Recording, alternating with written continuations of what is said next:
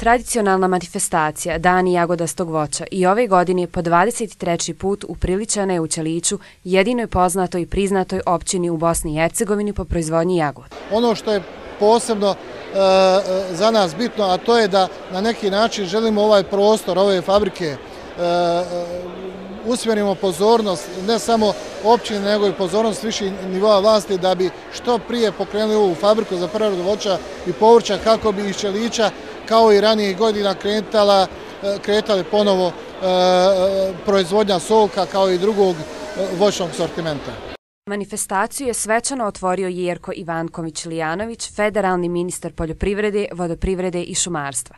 Svoje proizvode danas je izložilo preko 400 učesnika kako iz Bosne i Hercegovine, tako i iz Hrvatske i Srbije. Želim pozvati sve građane Bosne i Hercegovine da ne kupuju uvozno voće poput banana i naranača, nego da kupuju domaće jagode jer su one dobre i za zdravlje, a posebno će time pomoći ekonomskom razvoju naše domovine.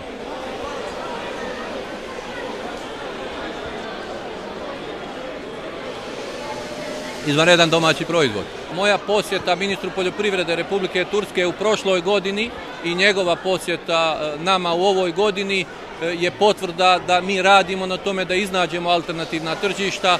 Turska je jedno veliko tržište od 70 miliona stanovnika i pokušavamo naći prostora da naši proizvođači plasiraju određene proizvode na tržište i vjerujemo da to može biti jedna od alternativa. Unatoč vremenskim neprilikama koje su zadesile ovo područje, Čelić i dalje vodi jako konkurenciju kako u proizvodnji jagodastog voća, tako i u izvozu u inozemstvu. Ako je suditi po odzevu izlagača na današnjoj manifestaciji, budućnost ove općine u proizvodnji jagodastog voća je zagarantovana.